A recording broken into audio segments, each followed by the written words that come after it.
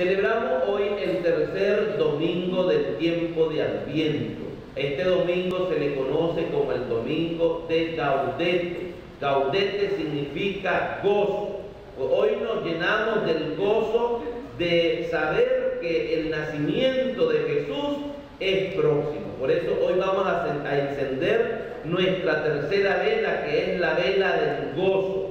Y al encender esta luz vamos a pedirle al Señor que nos conceda la gracia de vivir siempre gozosos, alegres, sabiendo que Jesús viene a nuestro encuentro, sabiendo de que Jesús camina con nosotros, sabiendo que Jesús está siempre a nuestro lado para ayudarnos, auxiliarnos, fortalecernos y salvarnos. Por eso vamos a encender con esta fe y con esta esperanza esta tercera vela, pidiéndole al Señor que aumente en todo la alegría.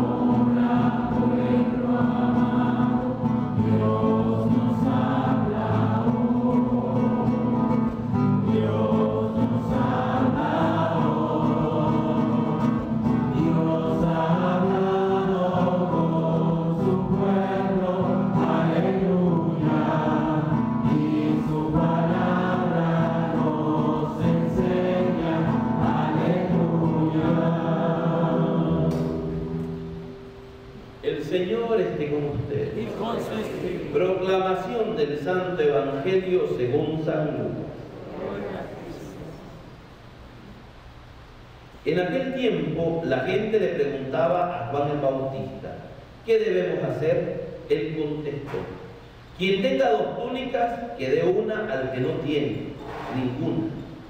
Y quien tenga comida, que haga lo mismo. También acudían a él los publicanos para que lo bautizara y le preguntaban, Maestro, ¿Qué tenemos que hacer nosotros? Él les decía, no cobren más de lo establecido. Unos soldados le preguntaron, ¿y nosotros qué tenemos que hacer? Él les dijo, no extorsionen a nadie, ni denuncien a nadie falsamente, sino conténtense con su salario. Como el pueblo estaba en expectación y todos pensaban que quizás Juan era el Mesías, Juan lo sacó de dudas diciéndole, es cierto que yo bautizo con agua, pero ya viene otro más poderoso que yo, a quien no merezco desatar las correas de sus sandalias. Él los bautizará con el Espíritu Santo y con fuego. Él tiene el viento en la mano para separar el trigo de la paja. Guardará el trigo en su granero y quemará la paja en un fuego que no se extingue. Con estas y otras muchas exhortaciones anunciaba al pueblo la buena nueva. Palabra del Señor. Gloria al Señor. Dentro de este tiempo de Adviento celebramos el tercer domingo y en él celebramos el domingo del gozo. Por eso se cambia el ornamento, el color del ornamento, ¿verdad? Porque es un color intermedio entre el blanco, que es la fiesta, y el morado, que es significa la preparación.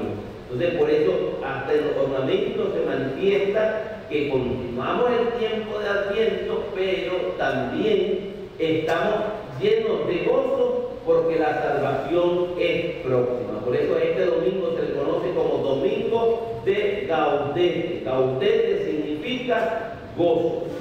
Nosotros en este domingo tenemos que reflexionar cómo estamos viviendo nuestra vida. Y como cristianos tenemos que aprender a vivir llenos de gozo. Tenemos que aprender a vivir nuestra vida llenos de alegría. Y la alegría, el gozo, tiene que ser una actitud personal en nuestra vida. A veces nosotros nos damos licencia para vivir arrechos, para vivir amargados. ¿ah? Y vivimos de poco, cada de poco amigos. Un cristiano no puede vivir triste ni malgeniado. Tiene que ser característica de todo cristiano el vivir alegre, el vivir gozoso. ¿Por qué? Porque nuestra alegría depende del encuentro que hemos tenido con Jesús. Y como yo he tenido ese encuentro con Jesús, y como yo soy templo y sagrario de la Santísima Trinidad, y el Señor vive en mí, por lo tanto yo tengo que aprender a manifestar esa alegría, ese gozo que el Señor me regala. Las circunstancias externas de nuestra vida no nos pueden amargar, no nos deben amargar la existencia. Tenemos que aprender a vivir felices, a vivir contentos, a vivir gozosos. No seamos como la veleta que la mueve el viento No, nosotros tenemos que vivir siempre gozosos, confiando en el Señor, aún en medio de las tribulaciones, aún en medio de las preocupaciones, aún en medio de los problemas, el gozo tiene que permanecer en nuestro corazón porque el Señor no se mueve, porque el Señor no cambia, porque si yo tengo al Señor en mi corazón, pues el Señor es el que me da a mí la estabilidad y es el que mantiene siempre contento, es el que me mantiene siempre feliz. Nosotros continua y constantemente botamos la gorra por cualquier cosa y nos damos licencia para estar arrechos. No deberíamos de actuar de esa manera, porque no es conforme a nuestra fe, no es conforme a la fe que profesamos. Nosotros tenemos que estar siempre contentos, siempre gozosos, que hay situaciones adversas en nuestro entorno, que hay situaciones difíciles fuera de nuestra vida que nos preocupan, eso es una cosa, pero esas preocupaciones no nos tienen que robar nunca la alegría, no nos tienen que robar nunca el gozo, porque la fuente, el motivo de nuestro gozo es la presencia de Dios en nuestras vidas. Y cuando yo vivo de una manera contraria a la felicidad, contraria al eso es signo de que no estamos viviendo en el Señor que no estamos viviendo en la confianza en Dios, sino que al contrario, nos estamos moviendo según las circunstancias y situaciones que nos toca vivir. Todos pasamos y tenemos que afrontar momentos difíciles en nuestra vida, pero los momentos difíciles en nuestra vida no tienen por qué robarnos el gozo ni la alegría. Tenemos que aprender nosotros a manejarnos en medio de estas dos situaciones aunque haya situaciones adversas en nuestro entorno, en nuestro interior Dios siempre se mantiene vivo, Dios siempre se mantiene estable y Él es la causa de nuestro gozo. Por lo tanto, las situaciones pequeñas, externas, no pueden venir a destrozar la estabilidad que Dios nos ha dado, el gozo y la que el Señor siembra en nuestro corazón. Por eso, aprendamos nosotros a vivir gozosos. No nos demos licencia para vivir tristes, afligidos y amargados. Miren, cuando nosotros nos damos licencia o permiso para vivir tristes, acongojados y amargados, no solamente nos amargamos la vida sino que también le amargamos la vida a los que están en nuestro entorno. Le hacemos más difícil la vida a los que nos rodean. No le robemos la paz a la gente. No le robemos la tranquilidad a las personas que nos aman, porque desgraciadamente quienes tienen que padecer nuestro mal genio y nuestro mal carácter son los que nos rodean, las personas que amamos. Pero nosotros continuamente nos damos permiso para vivir amargados. Y de todos nos quejamos, hasta del gusto. Hay que aprender en este tiempo que se nos invita a prepararnos para la llegada del Señor. Hay que cambiar de actitud, hay que cambiar de mentalidad y aprendamos a vivir nosotros en el gozo del Señor, en la alegría de Jesucristo. Y no dejemos que nada ni nadie nos robe la paz, que nada ni nadie nos robe la alegría. Por otra parte, también el Evangelio que hoy escuchábamos, Juan el Bautista nos daba algunas pautas para vivir verdaderamente este tiempo de preparación. Y le preguntaban a Juan el Bautista, a la gente, ¿qué debemos hacer? Y Juan el Bautista lo que invitaba a practicar la caridad y la justicia. A un grupo de gente que le preguntaba, le dijo, el que tiene dos túnicas, que le dé una al que no tiene. Hay que ser generoso, hay que aprender a compartir. A veces a nosotros nos cuesta compartir. Y a veces tenemos más cosas de sobra, tenemos cosas extras que ni siquiera usamos. Este es un tiempo oportuno para limpiar nuestro ropero y empezar a practicar la generosidad, a sacar todo aquello que no usamos y compartirlo con quien sí lo va a necesitar, con quien, a quien sí le va a servir.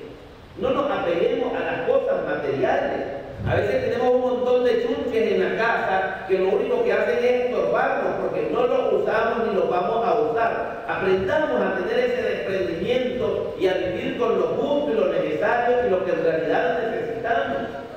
Pero no tengamos cosas innecesarias en nuestra vida. Hay que ser caritativos, hay que ser generosos y compartir lo que tenemos.